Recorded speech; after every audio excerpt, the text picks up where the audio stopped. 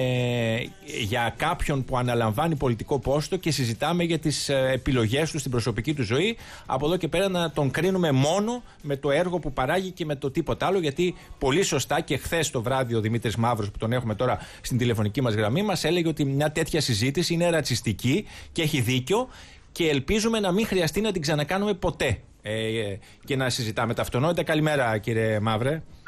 Καλημέρα σας. Καλημέρα κυρία Κοροϊνή. Καλή χρονιά. Είδατε αυτά που μου είπατε χθες τα έμαθα. Δεν πέρασαν έτσι. Καλημέρα. Τύχη, να δούμε αυτό το 21 τι τύχη θα μας φέρει. Θα δούμε. Λοιπόν. Ε, ελπίζω η επέτειος να βοηθήσει. Για να δούμε. Τώρα... Το λέτε για τα 200 χρόνια από την ναι, ναι, ναι, απελευθέρωση. ε, να, να, ξεκινήσουμε με τα τελείως φρέσκα κουλούρια. Πώς την βλέπετε αυτή την ε, ιερή κόντρα Εκκλησίας Πολιτείας που προέκυψε τις τελευταίες ώρες; Τώρα είδαμε και στο Προεδρικό Μέγαρο, τουλάχιστον μέχρι την ώρα που ήταν ανοιχτές οι κάμερες. Ε, Πρωθυπουργός και Αρχιεπίσκοπος, η γλώσσα του σώματος έδειχνε λίγο αμηχανία, λίγο. όχι και τόσο καλή σχέση όσο ήταν το προηγούμενο διάστημα.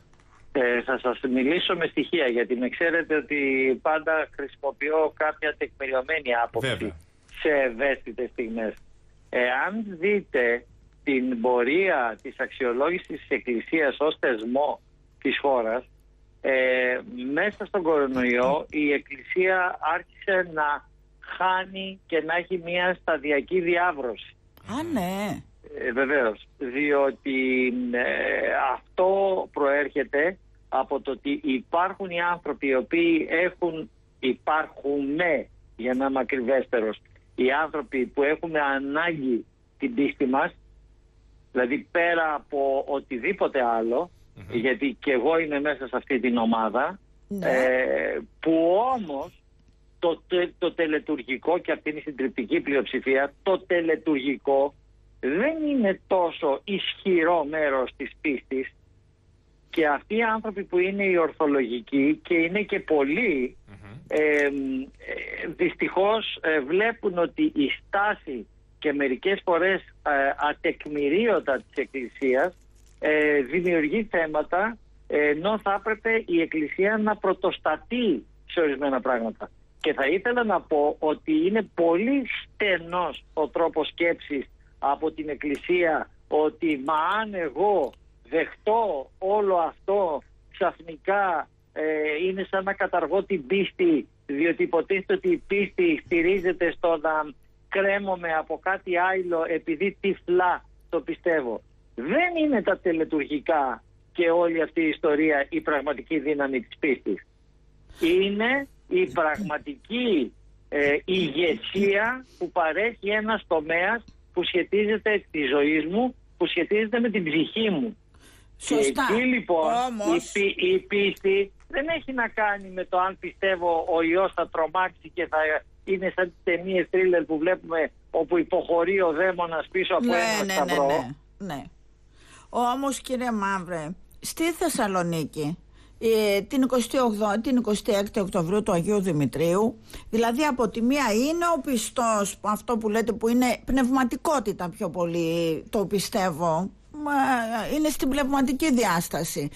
Αλλά ήθελε να πάει και στην εκκλησία και είχαμε μετά το, την, τις αρνητικές εξελίξεις δηλαδή δεν αρκεί μόνο να έχει μία ε, έτσι να μην ε, ε, στηρίζει τόσο πολύ τη θεσμική λειτουργία της Εκκλησίας όταν πρόκειται για τη δημόσια υγεία αλλά να όμως που χρειάζονται και τα μέτρα για να προσαρμοστεί και η Εκκλησία σε αυτά. Δεν χρειάζονται. κανονικά, ναι.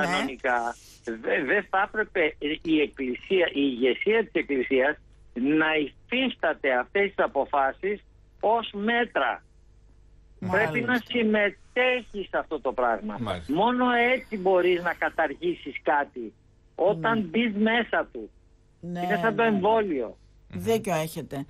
Αυτή η κόντρα κυβέρνησης, πρωθυπουργού να πούμε, και η διάσταση πρωθυπουργού και ιερώνυμου, πώς πιστεύετε ότι θα αποτυπωθεί σε μια δημοσκόπηση που τυχόν κάνετε; Θα, θα, θα σας πω. Ε, εγώ πιστεύω ότι θα την πληρώσουν και οι δυο γιατί ο καθένας έχει κάνει τα δικά του λάθη. Η Εκκλησία κάνει συνεχόμενα λάθη με τη μονομανία ότι μου έχει, έχει εξωθήσει ανθρώπους αν τα μπείτε μέσα στα social media ε, βεβαίως δεν υπάρχουν οι υπόλοιποι οι οποίοι ε, είναι η, η φάση ζωής και το mentality το οποίο έχουν τέτοιο που δεν μπορούν, δεν θέλουν, ε, δεν έχουν την, την επαφή με τα social media, άρα δεν γράφουν. Ναι, αλλά ναι. οι υπόλοιποι ε, αυτή τη στιγμή ε, είναι αρκετά εχθρικοί και χλεβάζουν κάποια Μάλιστα. πράγματα τα οποία κάνει η Εκκλησία.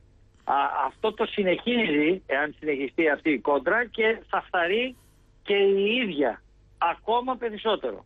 Μάλιστα. Από την άλλη μεριά, το μεγάλο πρόβλημα που έχουμε πάντα σε αυτή τη χώρα είναι η έλλειψη συνεννόησης. Αυτό δηλαδή είναι έχω, τώρα. τη- έχω την Συμφωνούμε. αίσθηση ότι στη συγκεκριμένη περίπτωση τώρα με, την, ε, με τα θεοφάνεια και με την οργομοσία και με όλο αυτό το πράγμα αυτό που ενόχλησε περισσότερο ε, το, τον κόσμο της Εκκλησίας δεν ήταν τα ίδια τα μέτρα Όχι. διότι κάνανε τι κάνανε Η μία Ε, ενημέρωση δηλαδή, λέτε. ε, μπράβο, την, Ναι, προ- αυτό. την πρωτοχρονιά, Βέβαια, το- βέβαια. τα Χριστούγεννα κτλ. Δεν κοστίζει τίποτα να συνεχιστεί αυτό το πράγμα με τα θεοφάνεια Ναι. ε, ε, και να ολοκληρωθεί ένας κύκλος ώστε μετά να βγει και καβάλα η Εκκλησία και να πει εγώ έκανα καθ' υπέρβαση των πιστεύων μου Ξέρετε ε, κάτι το όμως. σωστό για τους πολίτες. Ε, ναι, τι να κάνουμε εσύ, εσύ γιατί δεν ήρθες να μου πεις ξέρεις σκέφτομαι να κάνω αυτό το πράγμα. Αυτό είναι Ξέρετε το σημαντικό, κάτι όμως; συμφωνούμε. Μπε- Άρα, βα- βα- προσέξτε με, Ναι. είναι πιο βαθύ. Άρα έχεις και εσύ ενοχές. Γιατί αν ήθελες πράγμα, αν δεν ένιωθες ενοχές, γιατί ένιωθες ότι πράττεις το σωστό, θα ερχόσουν να μου το πεις. Ναι, αλλά α, θα βάζετε κάποιους σε πειρασμό να πούνε με αυτά που λέτε ότι αυτό είναι ένα είδος ας πούμε συγκυβέρνησης. Διότι όταν ο Πρωθυπουργός πρέπει να ενημερώνει, γιατί ας πούμε, αν, Όχι, πάρει, όχι, όχι, συγγνώμη, όχι. αν πάρει μια απόφαση για κάποια Άλλο άλλη κοινωνική συνεννόηση τάξη. είναι, συνεννόηση, Ναι, για ή για μια συνεννόηση επαγγελματική είναι πιο ομάδα, δεν Μαύρο. υποχρεούται προηγουμένως να την ενημερώσει. Βι- Ε, Παίρνει μια απόφαση, έτσι δεν είναι; Θα σας πω, τρέξαμε πρόσφατα μια πολύ μεγάλη έρευνα και πριν και μετά τον κορονοιο για να επαληθευτεί ε, για λογαριασμό της Ernst Young, ε, μία από τις μεγαλύτερες, αν όχι τη μεγαλύτερη εταιρεία συμβούλων και Big Four στη χώρα, Μάλιστα. για το τι είναι η ηγεσία σήμερα στη χώρα. Α, Αυτό λοιπόν το οποίο απεδείχθη είναι ότι περνάμε από την, υπε- την εποχή του ηγέτη του μυαλού στον ηγέτη της καρδιάς. Μμμ. Αυτό Δη- το δηλαδή, πράγμα. δηλαδή, Δη- Ναι. Δηλαδή, ενώ στο παρελθόν όλα τα ορθολογικά και όλα τα λογικοφανή και όλα τα κανονιστικά ήταν ε, σε ημερησία διάταξη, τώρα πια αυτό το πράγμα δεν περνάει ε, μάλιστα. σαν κανόνας, σαν τρόπος λειτουργίας ενός ηγέτη. Τώρα ο ηγέτης πρέπει να λειτουργεί με την ενσυναίσθηση Να τη και να ενσυναίσθηση. πλησιάζει Να την- τον κόσμο είτε πρόκειται για μια εταιρεία, είτε Μμμ, πρόκειται μάλιστα. για Πολύ το κύκλο ενδιαφέρον. του, είτε πρόκειται για μια χώρα. Ναι. άρα μου λέτε, Αυτός ο ότι, ηγέτης- ότι, μου λέτε ότι ο ηγέτης πρέπει να έχει και συναισθηματική νοημοσύνη. Ε, ο κύριος Μητσοτάκης έχει και, ε, ε, εξαιρετικά απεδεί, απέδειξε ότι έχει εξαιρετικά και υψηλή συναισθηματική νοημοσύνη. Ο Αλέξης Γιατί ο- Τσίπρας, μεγαλύτερη ή μικρότερη; ε, ξεκίνησε να έχει μεγαλύτερη. Αλλά αυτή τη στιγμή νομίζω ότι οι πράγματα που συμβαίνουν μέσα στο κόμμα του ΣΥΡΙΖΑ τον τραβάνε προς τα κάτω. Μάλιστα. Πολύ ενδιαφέρουσα επισήμανση αυτή. Ναι, και κυρίως αυτό που λέει ο κύριος Μαύρος, ότι ο, ο σύγχρονος ηγέτης χρειάζεται, είναι αναγκαίο να έχει και συναισθηματική νοημοσύνη. Ναι, ναι, δεν είναι πια Ο- το όχι γυάλινο. μόνο το μπλοκάκι του Σιμίτη, ας πούμε. Στο γυάλινο Α, παλάτι ακριβώς. Ναι. πρέπει να Ακριβώς βγαίνει στο αυτό. πεζοδρόμιο να τρώει χώμα, να ακούει τον κόσμο. Ε, σα- απευθύνομαι και στους δύο και σας Ναι. λέω το εξής. Το έχω ξαναπεί και πολύ παλαιότερα, αλλά τώρα ξαναέρχεται στο προσκήνιο. Στην Ελλάδα υπάρχουν δύο ε, μπραντεφέρ, αυτά που κάνουμε με τον μπράτσο. Α, Το πρω- τα το δικά πρώτο- μας. ναι, ναι. Το πρώτο είναι ανάμεσα στη- στα δύο ρήματα ε, πείθομαι και εμπιστεύομαι, Μμμ. όπου ο Έλληνας δεν πείθεται. Ό,τι και να του βάλεις πάνω στο τραπέζι, Το όσο αμφισβητεί. τετραγωνικές ρίζες και Ε, ναι. στοιχεία να του παραθέσεις, δεν τα δέχεται, δεν πείθεται. Μμμ. Αυτό το οποίο κάνει είναι να βρει ένα πρόσωπο, Να εμπιστευτεί. όχι φορέα, να εμπιστευτεί. Μάλιστα. Και για να Σημαντικό. εμπιστευτεί πρέπει να καταλάβει τα κρυφά κίνητρα. Γιατί Ναι. έχει μάθει σε αυτή τη ζωή όλοι να του λένε Εγώ σ' αγαπάω, εγώ σ' Ναι, αγαπάω. ναι, για να τον Και δουλεύουμε αυτός λίγο. λέει κάτσε ρε μεγάλε, τι Ε, σου ήρθε στάσου. τώρα και με Κα- αγάπησες. κάτι υπάρχει από πίσω, ναι. Ακριβώς. Ε, και Μάλιστα. το τι υπάρχει από πίσω είναι γιατί όλοι σε αυτή τη χώρα ζουν, ζούμε πάνω στην ε, λογική του το τυρί το βλέπω, τη φάκα δεν βλέπω. Μμμ. Ναι. Άρα ψάχνουν να βρουν μία φάκα.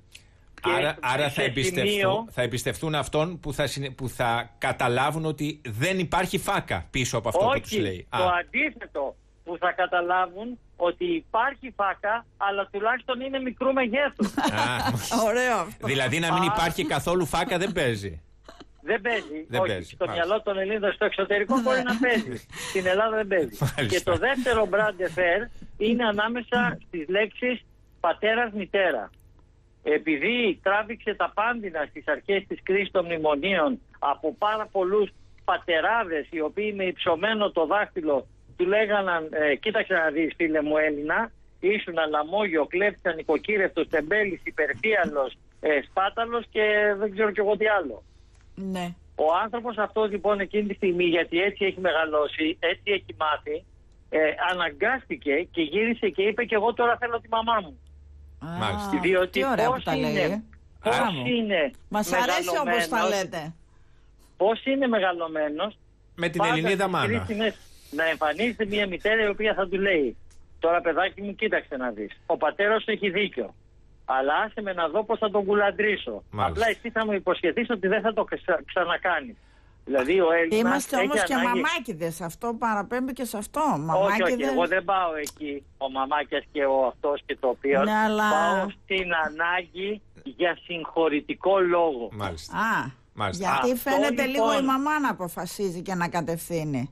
Ε, δεν πάω σε αυτή Δεν την πάει, Δεν ναι. πάτε σε αυτό, το δίνετε στο άλλη συμβολισμό. διάσταση. Μάλιστα. Ναι, Άρα μου μπράβο, λέτε στο από, συμβολισμό. από το Α, πατερναλιστικό μοντέλο των προηγούμενων Ακριβώς. δεκαετιών Καραμανλή, Μεγάλου και Παπανδρέου φτάνουμε τώρα σε ένα μοντέλο που έχει πιο χαρακτηρισμό. Μπράβο, έχει τον εξής χαρακτηρισμό. Ο Έλληνας θέλει να του λες ορθολογική πληροφόρηση.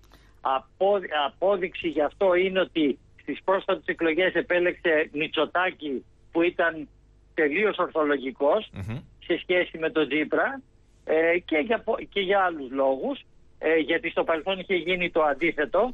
Θέλει λοιπόν να του λες ορθολογική πληροφόρηση αλλά υπομένει με φιλικές ποιότητες. Μάλιστα. Μάλιστα. Πολύ ωραίο. Ε, λοιπόν, να κλείσουμε με την τελευταία ερώτηση. Θα ήθελα, κύριε Μαύρο, ένα. Α, μία βαθμολογία. Τι βαθμό βάζετε στην α, κυβέρνηση; Την καινούρια. στην καινούρια που ορκίζεται σήμερα. Ε, αυτή τη στιγμή νομίζω ότι είναι, είναι κακό να δώσει κανείς βαθμολογία γιατί ε, η κυβέρνηση αυτή επειδή έχει ισχυρά κομματικοπολιτικό χαρακτήρα που οδηγεί πολύ εύκολα να σκεφτεί κανείς ότι μπορεί να έχει σχεδιαστεί έτσι ώστε τουλάχιστον εάν δοθεί η ευκαιρία να δίνει το δικαίωμα να γίνουν εκλογές ε, Α. οι, βα- οι βαθμολογίες θα ήταν άδικες. Μάλιστα. Αυτό Άρα, λοιπόν πολύ το οποίο οφείλουμε ενδιαφέρον. να κάνουμε είναι να περιμένουμε να δούμε αν αυτή η κυβέρνηση θα ανταποκριθεί στο κεντρικό καθήκον που έχει απέναντι στον ελληνικό λαό. Μάλιστα. Και το είπα και χθες το βράδυ, αυτό το καθήκον είναι μία λέξη. Μία, μόνο λέξη. Γρήγορα. Απλή, κατανοητή ακριβώς. Είναι η λέξη γρήγορα. Ό,τι είναι να κάνετε, κάντε το γρήγορα. Κάντε το γρήγορα. Μάλιστα. Άρα Να βλέπετε κι εσείς εκλογική ετοιμότητα; Ε, νομίζω πως ναι. Μάλιστα. Αυτή τη φορά Για το νομίζω πως ναι. φθινόπωρο. Για το φθινόπωρο; Ε, ε, δεν θα το έβαζα χρονικά, θα το έβαζα όταν υπάρχει, ε, κάποια, υπάρχει κάποια ξαστεριά. Μάλιστα. Ναι. Αυτό, Γιατί σωστά το λέτε. Όταν το περιβάλλον Η το ευκαιρία, επιτρέπει. Το η ευρύτερο ευκαιρία. περιβάλλον το επιτρέπει. Μάλιστα. Αν και εγώ κύριε Μαύρο πιστεύω ότι ο Μητσοτάκης θα κάνει Λοιπόν. περίπου ό,τι και ο Σιμίτης θα εξαντλήσει γιατί δεν θα υπάρχει αυτή η ξαστεριά και θα εξαντλήσει όλη την τετραετία μην σας πω πάρει και δύο-τρεις μέρες. Λοιπόν, μου άρεσαν Και την όλα αυτά που είπε ο επόμενη. κύριος Μαύρος. Πολύ Αλλά, ωραία. αλλά το περισσότερο είναι αυτό που είπε ότι πια έχουμε φύγει από το πατερναλιστικό Ναι, και μοντέλο έχουμε πάει. και θέλουμε τη μαμά να λέει σωστά τα λέει ο πατέρας, αλλά θα δούμε Αλλά πώς θα το ναι. φτιάξουμε. Προσέξτε με, μιας και αντέχετε 20 δευτερόλεπτα, Ναι. Ναι. σας λέω ότι το 2015 η ανάγκη του Έλληνα στην αναλογία μπαμπάς μαμά Ναι. ήταν 100% μαμά, 0 μπαμπάς. Πω, πω. Το 15. Και αποκτήσαμε, και αποκτήσαμε την κυβέρνηση που αποκτήσαμε και τον ηγέτη που αποκτήσαμε. Το 15. Τον βλέπαμε, Μπράβο. τον Αλέξη τον Όταν- βλέπαμε ως μαμά. Και τώρα λοιπόν. Εντελώς. Ναι. Ναι. Ε, τώρα έκτοτε όσο βγαίναμε από τα μνημόνια Ναι. και δούλεψε γι' αυτό και ο ΣΥΡΙΖΑ, δεν μπορεί κανείς να το αρνηθεί. Ναι. Καλός, Βέβαια. κακός, Ναι, φυσικά, καλαπιτώντας, λέμε, πέφτοντας ότι- κτλ. Κτλ. Άρχισε αυτή η απόσταση ανάμεσα στα δύο ποσοστά να κλείνει. Ναι. Μέχρι που φτάσαμε στο 2019 και στις εκλογές, όπου εκεί το πράγμα έφτασε στο 50-50. Μάλιστα. Δηλαδή Α, στο 50-50. Μάλιστα. Σημαντικό. Και ε, αυτό ήταν μια θυμική υποδομή κάτω από την ε, κοινωνια Μμμ. το οποίο έσπροχνε σαν ένα γενικότερο φαινόμενο προς την επιλογή του Μητσοτάκη. Μάλιστα.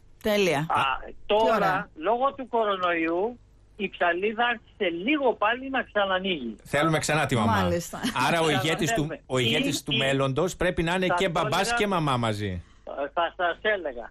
Ε, ή θέλουμε μια σκληρά εργαζόμενη ε, γυναίκα μητέρα Μμμ. που ξέρει τι της γίνεται από ζωή και δεν μου λέει παιδάκι μου το πρωί πριν φύγω από το σπίτι φτου φτου φτου φτου, φτου και με σταυρώνει Ναι, απλά ναι, να πάω ναι, στην γι' αυτό. ευχή Και της ρίχνει και Παναγίας. νεράκι Ναι. από πίσω. Ε, ε, μπράβο. Ναι. Θέλω μια μαμά που να ξέρει τι της γίνεται. Μην μου πει και καμιά κοτσάνα που θα με στείλει αδιάβαστο στη ζωή αυτή Τέλεια. σαν συμβουλή. Ή έναν μπαμπά με, ε, με ενσυναίσθηση. Μάλιστα. Με έμπαθη. Μάλιστα.